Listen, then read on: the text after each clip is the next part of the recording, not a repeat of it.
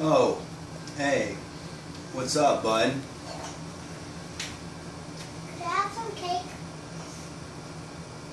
Can you have some cake?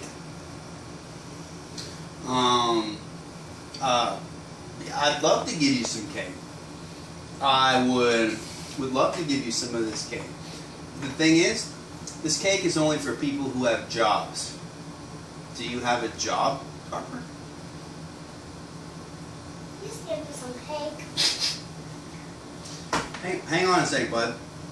I ask you a simple question, okay? Do you receive a paycheck for doing work? Are you currently employed? Or are you just a little bloodsucker?